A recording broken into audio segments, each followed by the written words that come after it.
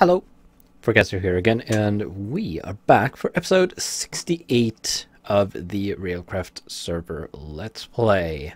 After a bit of a break, I suppose, I skipped a couple of episodes because uh, of a combination of the server being a bit broken due to a couple of mods uh, interacting in a bad way, and Christmas uh, weekend kind of happened in the middle of that. Uh, so I got kind of busy.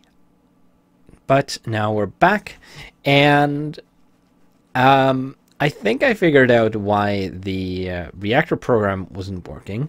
I'm not sure why it was uh, silently failing without actually outputting anything. But I think the reason was I was missing this adapter uh, on a redstone port, which was a part of the uh, design in the test world. Uh, and I'd forgotten to put that up here, but I managed to figure out that it was missing.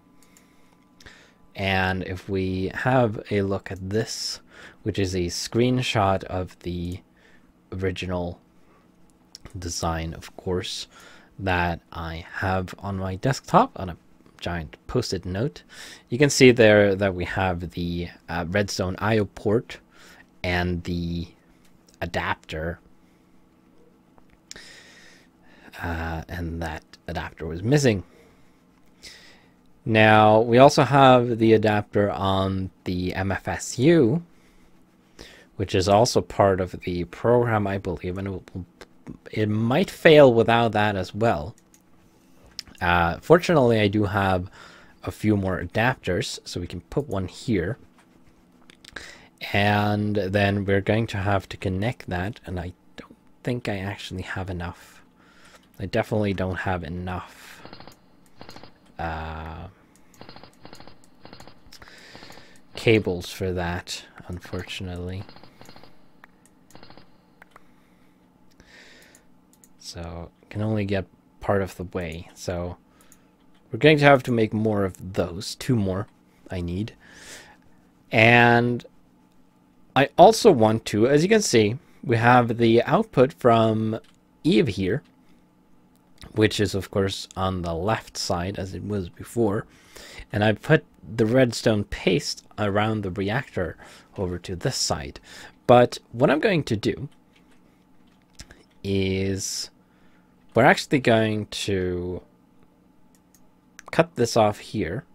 You can see the signal getting, was getting kind of weak here.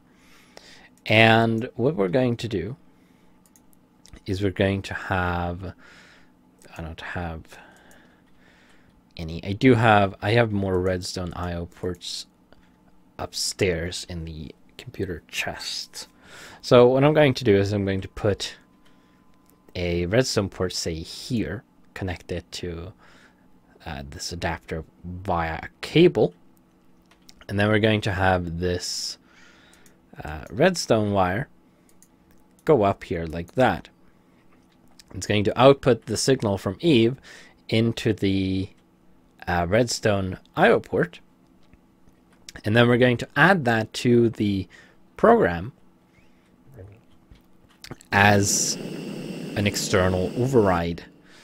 So over here we have, oh, I actually have cables here. Nice. And I don't have to make any more right now, which is lovely. Okay, so we put a redstone IO port there, connect them up via cables. And then we can hook that up. Oh, well, shoot. That's worth 12 components. Well, this counts as a component. Right. Yeah, that that works, I guess, but if I put that back, it's going to fail. So basically what I have to do is when if I want to use the disk drive, I'm going to have to disconnect, say this, then put the disk drive down, transfer any files I need, and then remove the disk drive again, and then reconnect this adapter. Uh, and this is one of the situations why where servers are good because they have a higher component uh, limit. Uh, where you, you can upgrade the component limit using uh, component buses instead of having to upgrade the uh, I was about to say compressor uh, I mean processor. Because if I wanted to bump this up to the next tier I would also have to upgrade the case which would be a little bit of a pain. Um, just a little bit though I suppose now we're going to pop over to the um, programs and I apparently have some uncommitted changes.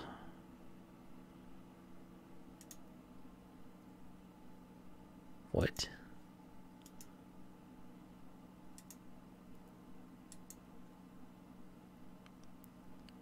Uh, let's see, where's the... Let's see. Oh. Alright, some indentation changes. I guess. Some other stuff I changed.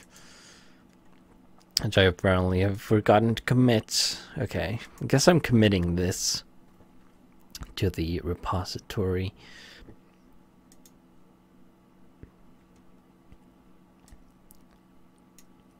Did do a bit of stuff.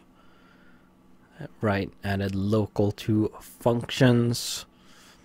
I Added this function and then changed how this worked. Yeah just some stuff.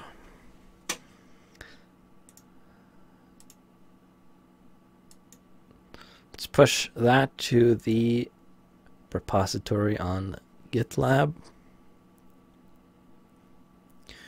And then we can get to updating this stuff. So reactor control. Have I... These are probably still um, tests from the test world. Which is probably not a good thing. Uh, what I probably want to do is add a couple of checks here to make sure that the required components are actually present. So I guess that can happen here as early as possible. And I think all I need to do is check if they are, are nil. So if modem is nil uh, equals nil, then error no modem found. And then end. And then if uh, pipe control equals nil then error. The error function will cause the computer to stop with an error message I think. It's not the same as stopping the program. But since it's a pretty critical error to have missing components, I think this is probably fine. Uh, if it's annoying, I may replace it later, but it'll do for now. Uh, now, pipe control was a redstone IO block, right? Yeah. Pipe control is a redstone. Uh, no redstone IO pipe control found. Yep. Can I one line these? I can one line these. That'll do. And then if uh, reactor control equals nil. Actually, I think I can do this. That's should be equivalent, right? Error, no redstone I on I O. Nope. Uh, reactor control found. And then we're going to change these slightly more space efficient to have just not, I think, not uh, tank, then error, no. Tank,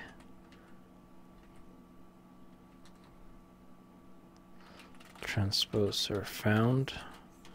And if not reactor then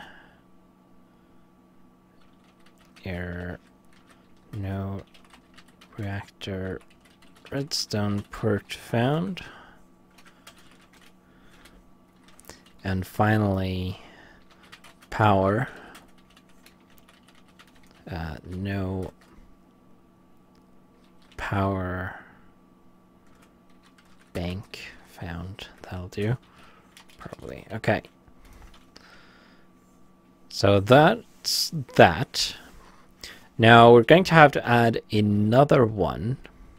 We're going to have to add another uh, local uh, external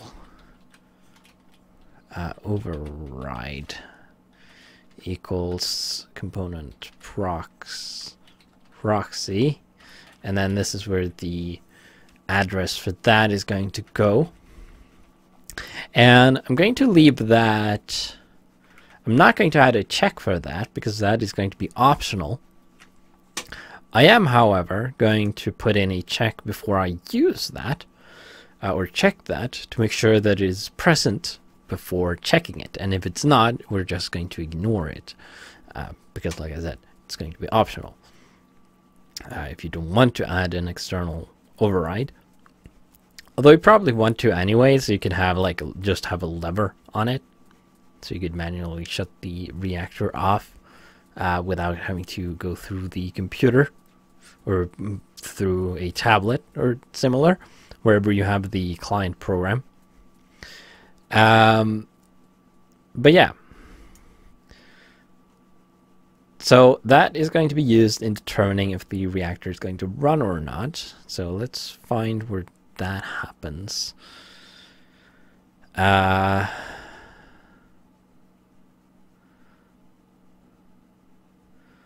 override state.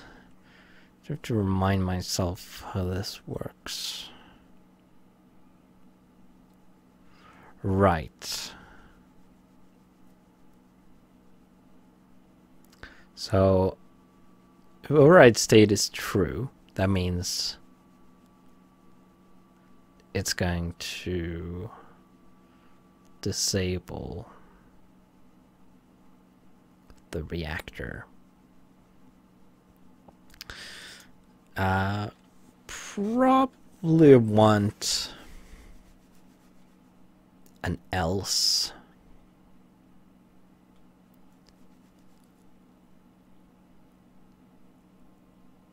Uh,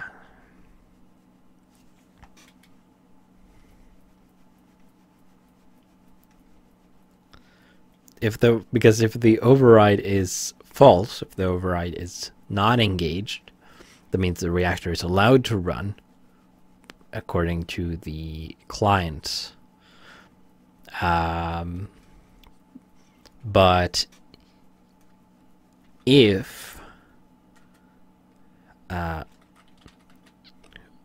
external override is uh, set, it's not nil, and external override uh, get is it get input?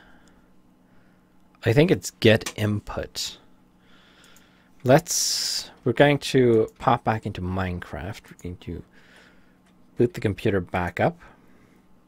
And we're going to head into the Lua prompt. And then we're going to find no not computer redstone. Components uh, redstone. And then get input.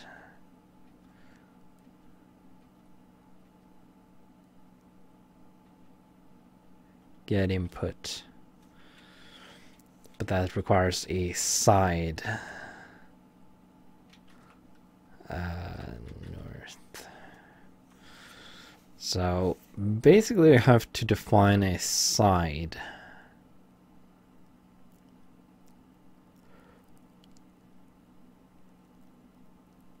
Although hmm maybe it can just check all sides. Um, we can iterate over the sides API. So we could essentially do, we go back here. So we're going to have this. And for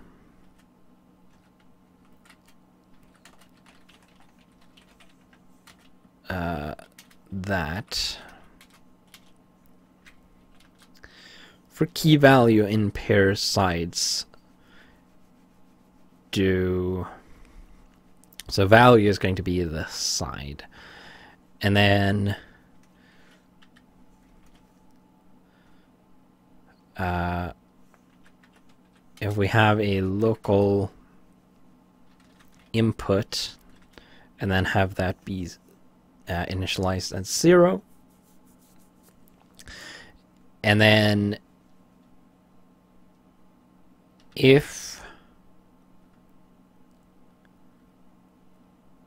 uh, external override and then get input and then value would be the side number uh, and then greater than zero so if the input is greater than 0 on this side, set input equals uh, external override get input value for the side. And then end. And then after the loop, if input is now greater than 0, uh, because if so it will check all of the sides uh, of the redstone port. So if, if, basically if there's any strength redstone applied to any side of the override, it will uh, return or it will result, it will detect it. Um, actually, hold on. I don't have a mess. I don't have an event for detecting redstone input, do I? I do not. Maybe that would be a better way of doing it. Yeah, probably. Because this is doing this. How often does this, does this run? Every second? That's not super efficient. Yeah, I could do this, and probably, probably doesn't matter all that much, really. But it's not super efficient either. Now, these things we do have to do because we need to check the uh, tank levels periodically. But we, because we don't, we don't get events for that. But we do get events for redstone changes. So what would probably be a better idea is if we add a function for handling uh, redstone events. And I do not have the parameters for that. So I am going to look those up on the wiki let's go event because I know they are listed there somewhere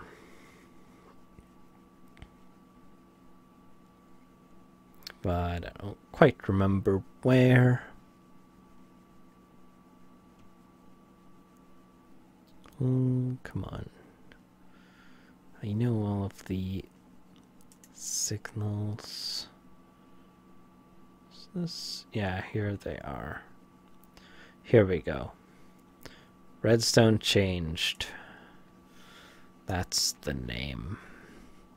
We just add that to the end there. And then we have the address.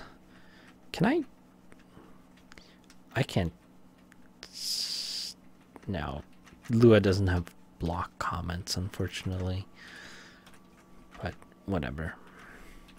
Ah, yes, right. Are pretty sim simple. Uh, so that is the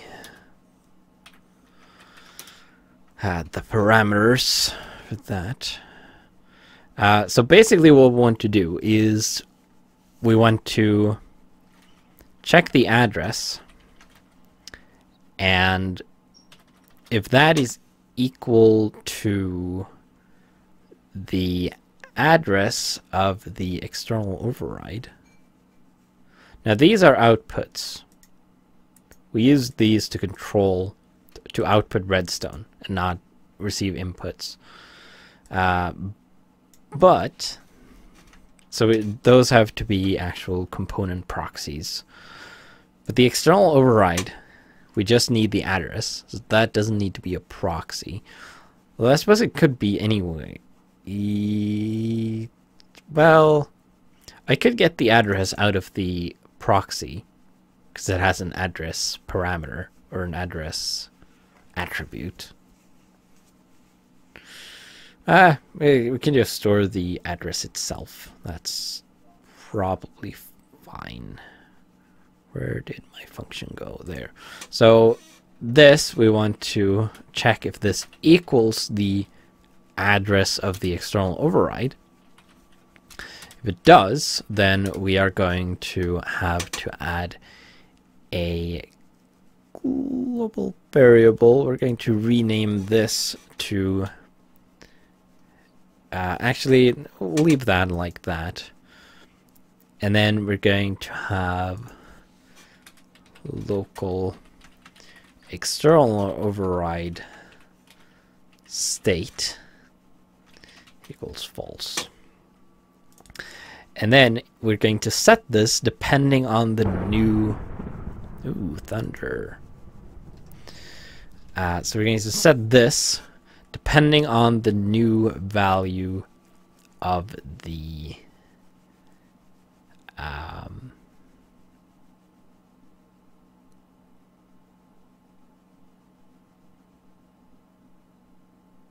actually that is hmm that could Hmm. Hmm, hmm, hmm. That's that's a bit of a tricky. So if the same redstone IO block, if let's say you have two inputs, two redstone wires touching the redstone IO block from on two different sides.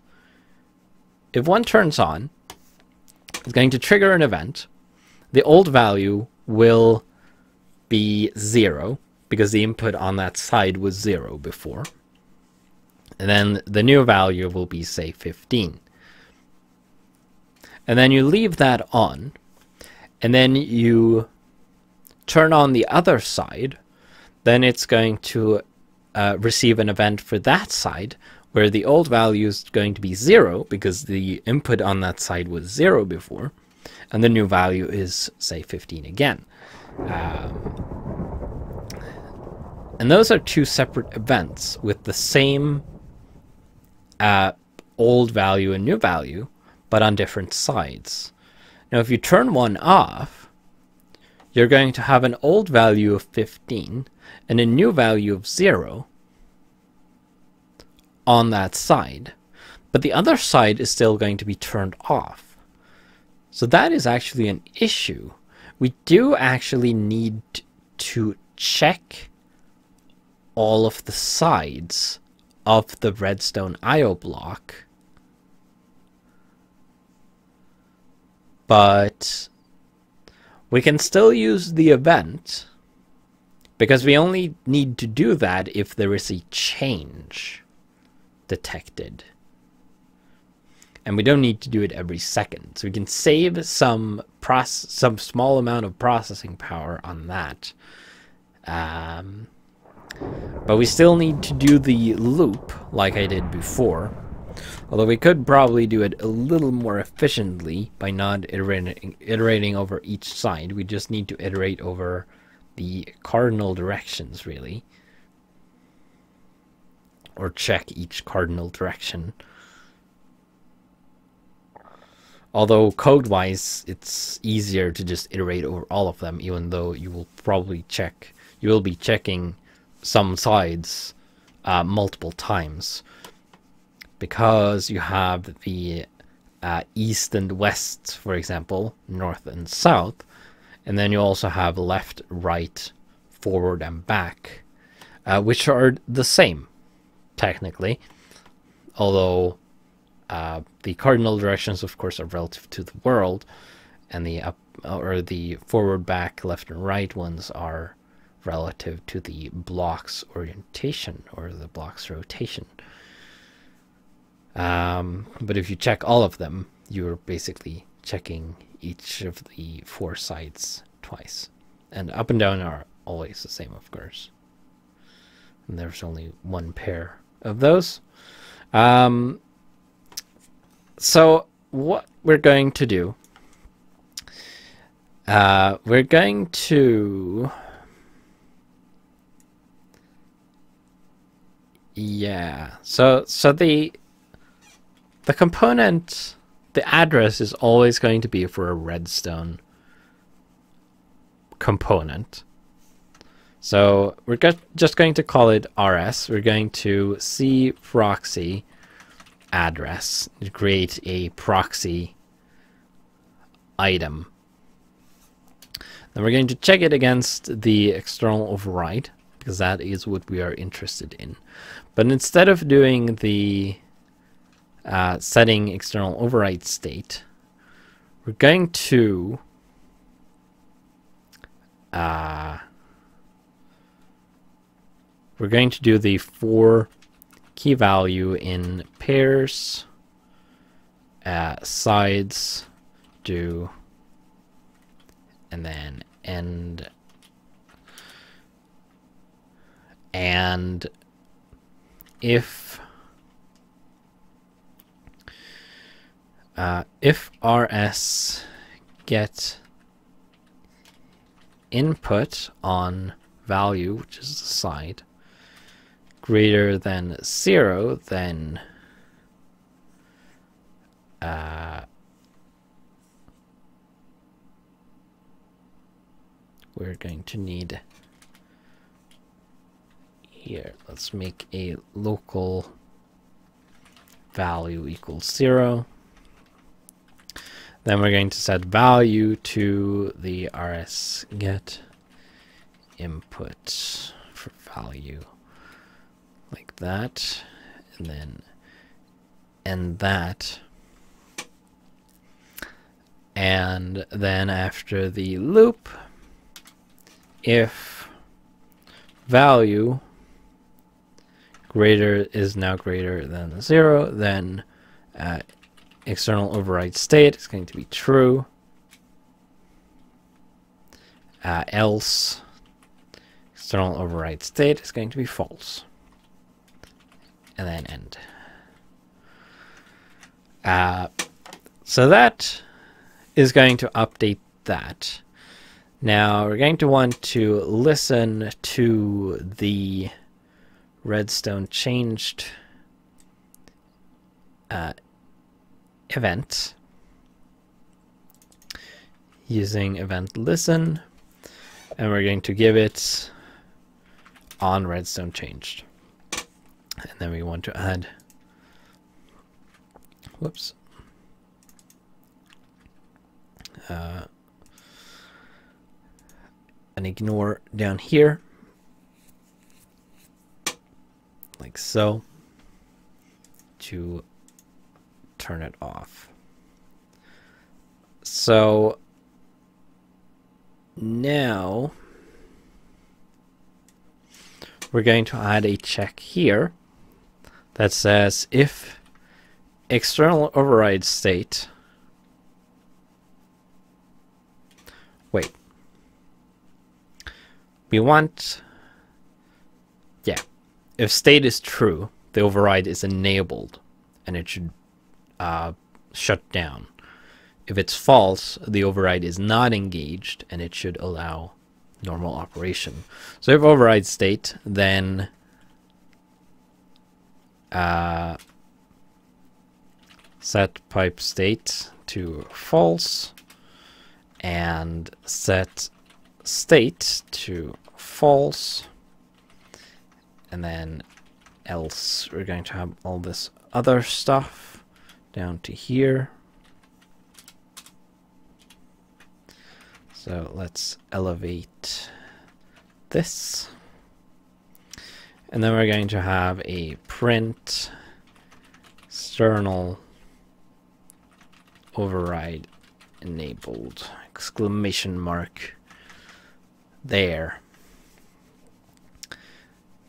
Okay. So that enables the external override. And we've actually run out of time. We've gone a little bit over time as well. So we're going to have to continue this in the next episode. But it seems that Eve works fine. Uh, so shouldn't be too much trouble getting things up and running now. Let's pop back into Minecraft for a bit. Um, still need to make a new hazmat suit helmet. And we're going to hopefully start the reactor up properly next episode. So, I We'll see you then.